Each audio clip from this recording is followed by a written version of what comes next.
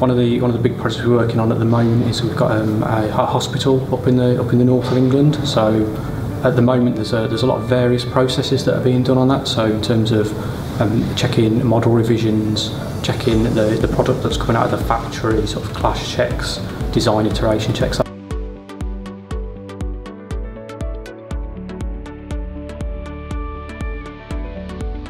We've uh, introduced Celebri at three stages of our process. So the first stage, we check the models that are incoming from the consultants.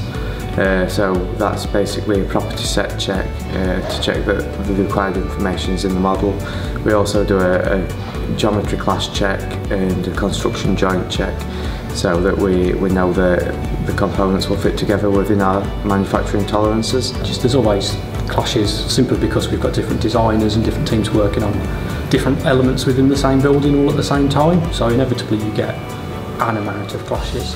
Um, the, the second stage we look at the connections between components so couple and wells void connection or channel connections uh, between the different uh, types of components to see if that all works.